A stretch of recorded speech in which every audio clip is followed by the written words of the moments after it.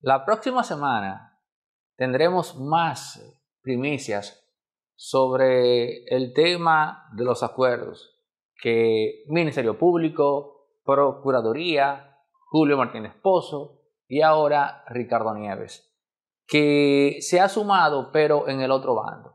Así que ya no tenemos solamente un tema de Julio Martínez Pozo versus Nuria Piera, sino también ahora, digamos, Ricardo Nieves, porque plantea Julio Martínez Pozo algo que me parece eh, razonable, cuando dice expedientes tan largos de 12 mil y tantas páginas, o sea, ¿a qué alude eso?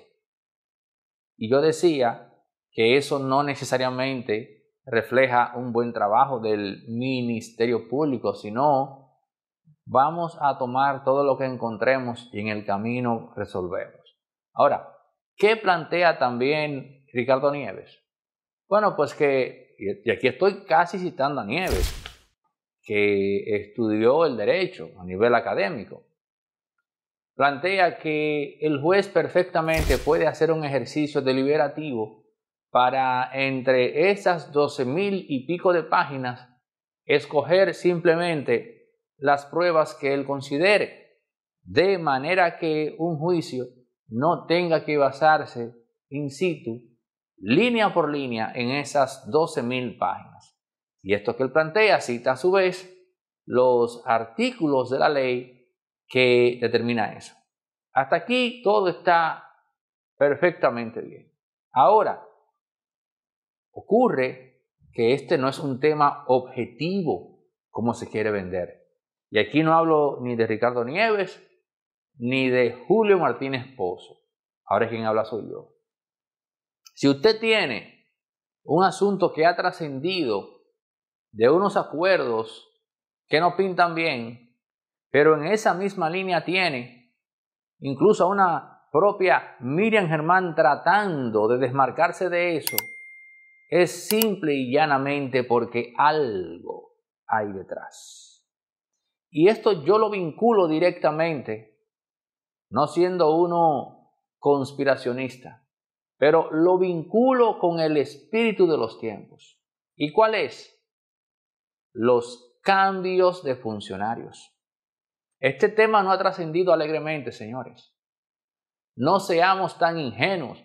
Bueno, tal vez eh, el propio Ricardo Nieves, que en su defensa de un ministerio público que se supone que tiene que perseguir y castigar la corrupción, el, respetado y querido amigo Ricardo Nieves ha olvidado que quienes encarnan ese ideal de ministerio público no es que solo son seres humanos, sino es que también son falibles sino es que también tienen intereses. Y que o por un lado pudiera ser que algún empresario haya logrado acorralarlos y ponerlos a pichar un juego, porque si no lo hacen, la cosa es peor, pero para ustedes, o sea, para ellos dos. O bien pudiera ser que sintiendo que se tiene tanto poder en mano, entonces se dé un tema de corrupción moral. Yo no estoy diciendo que Jenny Berenice y Wilson Camacho han incurrido en eso. No. Lo que estoy planteando es que no podemos ver el tema tan lineal como que, bueno, estos son los políticos, eh, los posibles corruptos, que a mí me da la bendita gana de pensar que son corruptos. Y de este lado están los gemelos fantásticos, los prístinos e inmaculados, gemelos fantásticos, que no van a romper una taza y que van a actuar como si fuese un imperativo kantiano, guiados por el etos del deber ser, y van a hacer todas las cosas como tienen que ser. Bueno, pero aún así son seres humanos. Y como son seres humanos, les asiste el error. Se pueden equivocar. Pero ¿de qué manera se ha de resarcir ese error cuando todos nosotros estamos influenciados, prejuiciados y entendemos que ellos siempre han hecho lo correcto? Bueno, porque se puedan equivocar. Y con toda seguridad en estos procesos, tantos casos abiertos ya se han equivocado. Así como uno cuando se para frente a esa cámara, amén de que puede tener la facultad de articular las ideas, uno se puede equivocar metiendo una palabra donde no va o de repente incurriendo en una tautología. Somos seres humanos. Entonces, este asunto no es lineal. Y aquí hay intereses detrás. En todo este estropicio que se ha armado con este tema, claro que hay intereses. Y yo voy a dar una pista. No en vano se han dejado caer nombres de familias de la oligarquía dominicana. Hay otro asunto detrás de eso. No nos perdamos en lo claro. Es un asunto más delicado. Pero como dije, esta semana van a surgir más cosas sobre este tema. ustedes verán lo que va a explotar entre martes y jueves. Oigan bien, entre martes y jueves. Espere esa bomba. Mientras tanto, suscríbase, active la campanita, comente, comparta y dele like. Buenas tardes, mi nombre es Agustina Núñez Raposo. Tengo más de 20 años viviendo aquí en Navarrete la muchacha que trabaja al lado me informó del concurso. Siempre yo le preguntaba, cuando abro mi cartera, buscamos el ticket y lo verificamos y veamos que es el código ganador. Solo dije una palabra, mi madre. Me voy para donde mi madre. Lo invito a que jueguen el Agarra 4. Mamá millonaria con Lotedón. Ok, ¿tú estarías de acuerdo con la creación de una policía anticorrupción? ¿Y quién la va a dirigir? Dentro de qué quema, ¿quién le va a dar los fondos? Los mismos tipos que ellos van a perseguir. Supuestamente el Ministerio Público. Ajá, y el Ministerio Público no tiene cuarto. Ellos, eso fue lo primero que hizo Miriam, ponerse a patalear por dos mil millones más para pagarle los sueldos a su gente. Y eso está ahí, eso no lo dije yo. E inclusive utilizó el argumento de la cárcel La Nueva Victoria para que le dieran los cuartos. Así de sencillo. Ella dijo que las contrataciones y la deuda que había asumido la gestión anterior habían dejado Sinfónica, había un faltante para pagar los sueldos de dos mil millones de pesos y se lo dieron desde que mencionó Yo Lo que me da Estaba Macarrulla ya. A mí lo que me da risa es que crean una policía anticorrupción y graba esto. Recuerda mis palabras. Si crean la bendita policía, van a terminar luego entregándosela a la Policía Nacional.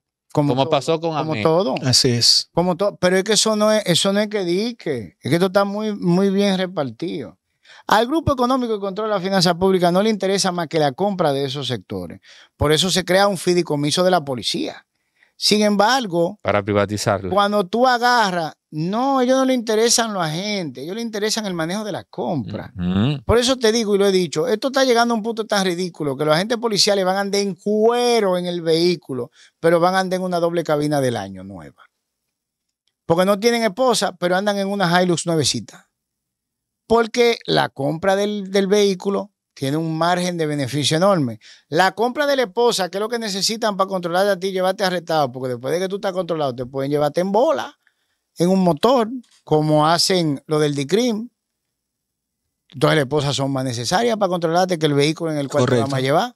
Pero la inversión se va hacia esa compra grande de equipo y en desmedro de la vida del propio agente policial no invierten en la seguridad de él ni en los utensilios que le van a dar la seguridad a él y al que van a transportar. Tú sabes que me llama la atención, eh, escuchando tu reflexión, dos cosas. Una vez me tocó conversar con una persona en la alcaldía. Entonces yo le decía, disculpe, pero ¿por qué hay tanta basura? Si se supone que ustedes llegaron para hacer un cambio, etcétera. Y él fuera de cámara, porque de frente a cámara no me lo dijo, me dice, es que es muy difícil eh, eh, luchar contra las mafias. Digo yo, pero no se supone que llegas a un cargo justamente para batallar contra la mafia. No se supone que el pueblo te da a ti un poder para tú agarrar justo con el brazo policíaco, como plantea Neudi, y luchar contra una mafia. Yo lo que veo, tú acabas de plantear que hay mafia en la Procuraduría, en la parte constructora, en la parte empresarial. ¿Cómo se, cómo se desmonta una mafia? desmontando la estructura económica que se alimenta de ella. Fácil. ¿Por qué tú crees que aquí no hay apertura de mercado? Porque ese grupo moriría. Nosotros tenemos un mercado forzado a mantener un modelo económico que en 1960 era moderno, pero ya en 1990 era obsoleto porque ¿qué entró en juego? El mercado de la tecnología. Pero el mercado de la tecnología por sí deja dinero, pero también reestructuró todos los otros mercados. E hicieron que actividades que antes eran impensables pasaran a primer rango en inversión, porque la tecnología lo viabilizó. Se podían hacer cosas que no se podían hacer antes. Ahora, ¿qué sucede? Fíjate en esto. Tú tienes un grupo económico que tiene aquí eso paralizado en el tiempo, porque lo único que conocen es ese mercado. Por eso lo que hacen es intentar sacarle cada vez más cuarto al mismo grupo. Porque tú no puedes vender un servicio deficiente y altamente caro en toda la parte del mundo. Tú no puedes exportar tu producto de servicio. Tú no puedes fabricar porquería y presentarlo a un mercado internacional, lo cual hubiera... Pero acá sí puedes hacerlo. Exactamente. ¿Por qué tú crees que, tú sabes cuál es el, grupo que más ha forzado porque se apertura la frontera con Haití? Calladito, desde aquí adentro. Ese grupo económico. ¿Pero cuál es ese grupo sabes económico? Por qué? ¿Cuál es ese grupo? Oh, mira, tú tienes a Vicini metido ahí, que hacía negocio con Gilbert Elvillo en los puertos. Tú tienes a los Benetti, que hacían negocio con Gilbert Elvillo en los puertos. Lo dice el itinerario, no lo dice Remberto, en un reportaje que ellos hicieron. Tú tienes a los a Bermúdez o Barceló, si mal no recuerdo, haciendo negocio con Gilbert Villo. Pero por Dios, el inmueble pero, perdón, el inmueble donde está y con los otros ligar caetiano, pero eso hace décadas. Entonces, pero, espérate, tú, me pediste una, tú me hiciste una pregunta y yo te la estoy contestando. Entonces, ¿qué te quiere decir eso a ti? ¿Cuál es el esquema de Gilbert Villo y de ese grupo de haitianos que del país o de uno de los países más pobres del mundo salen billonarios en dólares? precisamente el mismo esquema de secuestro de mercado de aquí.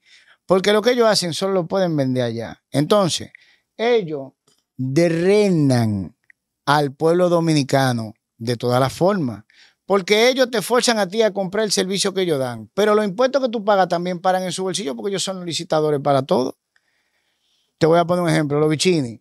Los bichini tienen generador eléctrica. Metaldón, viejo, está registrado como una generadora eléctrica. Y yo te voy a hacer una pregunta. ¿Tú te crees que aparece un inspector que diga, ven acá, pero tú estás generando, tú estabas generando para tu empresa de metales, de fundición, y tú no estabas cargando eso a nosotros? ¿Tú crees que aparece uno que pueda decir eso? Obviamente estamos hablando presuntamente. La figura no aparece. ¿Por qué? Porque Vicini es el dueño del Banco del Progreso, aparte de la generadora. No, pero ellos salieron de eso ya. Vicini. Salieron de eso. Pero oye, Salieron Vicini tiene compañía constructora, tiene compañía de cemento, tiene compañía, tiene hoteles, tiene compañía en todos los sectores. Lo que te iba a preguntar. Entonces, espérate, te voy a poner un ejemplo. Celso Marrancini, padre. CONEP y ahora es el dueño absoluto del sector eléctrico. Pero él se sienta con todos los generadores, amigo de él. ¿Tú te crees que el trabajo que va a hacer Celso va a ser en beneficio del pueblo dominicano? Lo primero que tiene que hacer es rebajar la tarifa eléctrica, las cuatro veces que se aumentaron por el pacto eléctrico. Pero eso no pasa. Entonces, ¿qué te quiero decir? Pero la pregunta es, porque yo escucho Gilbert Video por aquí, Gilbert Video por allá. yo te hago una pregunta a ti. Dime. O sea, ¿es que es un pecado hacer negocios con Gilbert? Yo no lo conozco. Ahora bien, según los norteamericanos, no, no, sé, según los norteamericanos y los canadienses. No sé quién es. Espérate, es un empresario eh, haitiano tiene una fortuna de más de 2 mil millones eh, de dólares. Pero él mató a alguien, es asesino, un criminal, es terrorista. Espérate. Los Estados Unidos, y Canadá lo sancionaron por presunta, presunta financiamiento ¿De? banda criminal haitiana. Ok. No es la primera sanción, es la segunda. Bill Clinton en su presidencia también lo sancionó por hechos similares. ¿Y por qué hacemos negocio con, eh, con alguien no, así? pero espérate, no, pero a eso es que voy. Pero viene el teatro. Luis Abinader, dentro de su política, y lo hizo Luis porque él era que estaba. Hubiera estado Leonel y lo hace igualito. Hubiera estado Daniel y lo hace igualito. Emite un decreto prohibiendo la entrada a treinta y pico de nacionales haitianos por seguridad nacional. Pero no menciona a Gilbert Villo. Ni en la primera vuelta ni en la segunda. ¿Pero por qué? Porque Gilbert Villo, el empleado de Gilbert Villo, que es Pablo Porte, que era el CEO de la Texaco aquí, que fue adquirida por Gilbert Villo en el 2012, es el asesor financiero del Poder Ejecutivo. Y es el tipo que el gobierno va a comprar armamento en Inglaterra y está ahí en la foto, al lado de Diamorfa. Es el tipo que el gobierno va a revisar el muro y está ahí en la foto caminando al lado de Diamorfa. Es el tipo que el gobierno va a firmar un pacto con Guyana y está ahí. Es el, es el tipo que el gobierno firma un tratado con Inglaterra en cuanto a aguas territoriales y está ahí. Atención a todos los profesionales, emprendedores y empresas medianas y pequeñas que quieren tener su contenido de calidad circulando por las redes sociales, dando a conocer sus servicios. En Resorte Media hemos habilitado una unidad audiovisual especializada en la producción de contenido corporativo, empresarial y para todo aquel emprendedor que quiere acogerse a aquello de que dice que una imagen vale más que mil palabras en efecto, podrás tener las mejores imágenes, la mejor calidad al precio más competitivo del mercado para dar a conocer tu servicio a todos acá en República Dominicana. E incluso si tu empresa capta clientes en el extranjero, también podrás contar con eso. Contáctanos, escríbenos al 829-741-3061 para que arranques desde ya a colgar contenido en tus redes sociales con la mejor calidad audiovisual posible, la que Resorte Media pone a tu disposición con el presupuesto más eh, asequible del mercado.